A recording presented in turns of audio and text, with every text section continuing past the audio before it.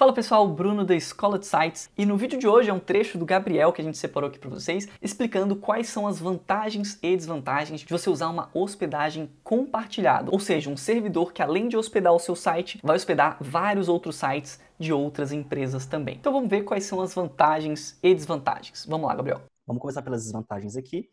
É, então, a principal desvantagem é disputa de recurso. Então imagina que você tem ali um computador mesmo.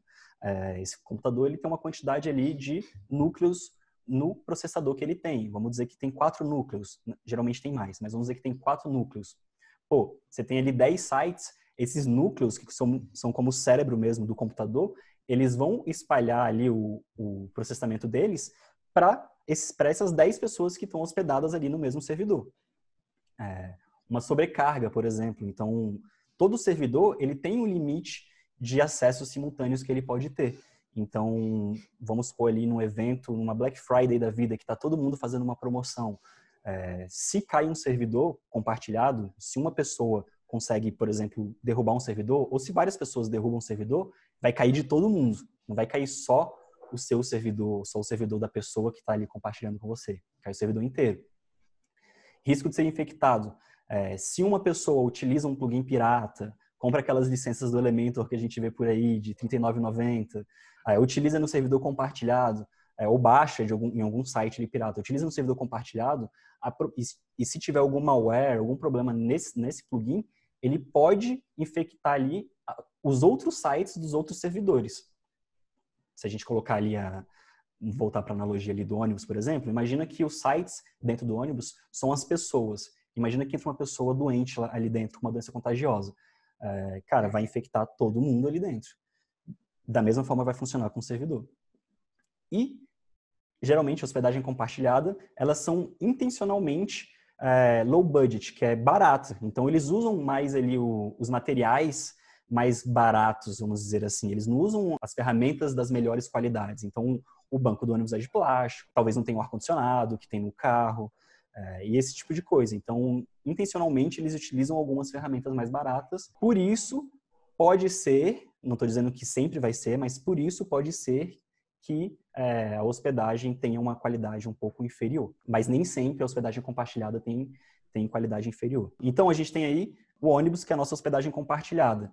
O carro aqui poderia ser, por exemplo, a nossa hospedagem VPS, que seria um meio termo em relação a preço, e a Ferrari ali poderia ser uma hospedagem cloud, por exemplo. Que aí, pô, você. Um, tá dentro... um servidor dedicado, né? Isso, é um servidor dedicado, só tá você lá dentro, você dita as regras ali dentro, uma coisa mais controlada, entendeu? Mas. É. Pode falar. E o José fez um, uma boa observação. O servidor dedicado não custa menos do que 700 reais. Eu, mesmo exemplo da Ferrari, né? Tipo assim, não espere ter um servidor dedicado barato, sacou? Você não vai comprar a Ferrari ali por, por 20 mil reais, você não vai achar, sacou? É, mesma coisa, servidor dedicado ele é, ele é mais caro, mas você está pagando justamente para essa performance. Tem que entender também qual cliente, qual tipo de site que você está criando, né? É, uma pergunta que a gente sempre vê o pessoal comentando, tipo, pô, mas vocês indicam a HostGator, que é um servidor que não tem a performance boa.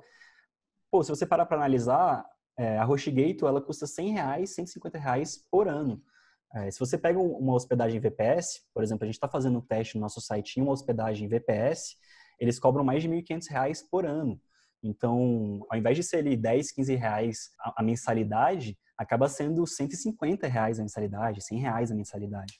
Então, imagina que você caiu ali no vídeo da Escola de Sites, no YouTube, como muitos de vocês chegaram até através da gente, e aí, no primeiro passo, que é o passo de contratar um servidor, a gente fala para você contratar um servidor de mil reais. Será que faz algum sentido? Por que, que a gente recomenda HostGator? Pô, para começar, para dar o primeiro passo, é um servidor muito bom. É, para um site ali que não está ainda, para uma empresa que não está faturando, não está ganhando muito dinheiro, é um servidor muito bom. Ele tem um suporte bom, ele funciona, ele fica pouco tempo fora do ar. Depois, conforme o site vai tomando outros objetivos, ou conforme vai tomando outras, outro tamanho ali o negócio, né, você pode sempre fazer o upgrade para outros servidores. Você sempre pode fazer upgrade para outros carros, por exemplo. Vamos ver agora as, as, vantagens da hospedagem compartilhada. Só um último argumento aqui também, que é o Fabrício comentou né, que a HostGator tem também os servidores dedicados, e de fato, né? Tem a, a porta de entrada lá, que é o, o, servidor compartilhado, mas tem o VPS da HostGator, tem o servidor dedicado da HostGator. Então, de fato, você consegue fazer o, o upgrade na própria HostGator também. Mas, a gente vai, vai entrar nesse, nesse assunto ainda Mas não adianta eles terem um servidor VPS se o equipamento que eles usam no servidor VPS é ruim. Então vamos supor que eles usam um computador muito antigo ali para ser o servidor VPS. Pô, você tem um servidor VPS aqui, que é um servidor dedicado para você, com SSD até, mas é um computador ali de, de 95, por exemplo. Pô, a gente tem ferramentas mais rápidas hoje em dia, a tecnologia está atualizando. Mas vamos voltar aqui para as vantagens de uma hospedagem compartilhada, que era justamente o que eu estava falando agora da HostGator. Pô, o preço das hospedagens compartilhadas é excelente. Para quem vai começar, para quem vai entrar nesse mundo, é sensacional. A gente gosta de falar, inclusive, que, pô, para você comprar a anuidade da HostGator, é como se você estivesse fazendo um investimento de um livro ali para uma escola de inglês. Pô, você gasta 100, 150 reais. Quanto que é um livro para você fazer um cursinho de inglês ou um cursinho de informática? Quanto que era um livro na escola, por exemplo? É, então, para você dar esse primeiro passo, pô, você está fazendo investimento de um livro ali para um ano. Suporte técnico. O HostGator dá suas pisadas na bola, às vezes fica muito cheio o suporte técnico. Sim, mas eles sempre resolvem nossos problemas. A gente nunca teve problema muito, caraca, a gente não conseguiu resolver. No máximo, a gente teve que ficar na fila ali esperando bastante tempo.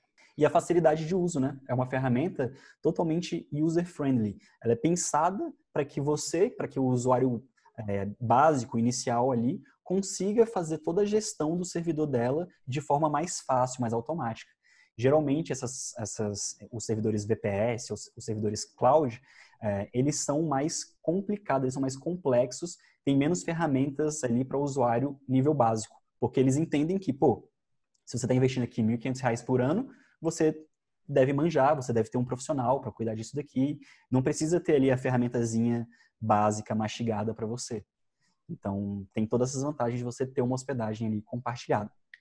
E é isso aí, é importantíssimo que quando você esteja fechando um projeto com o seu cliente, você saiba explicar essas diferenças, as vantagens e as desvantagens, para que você possa entender a necessidade ali do seu cliente e fazer uma boa recomendação, saber instruir ele qual que é o melhor caminho para aquele caso, tá bom? E é isso aí, espero que você tenha gostado desse vídeo, que ele tenha te ajudado de alguma forma. Deixa seu like, deixa um comentário aí embaixo. É isso aí, a gente te vê no próximo vídeo.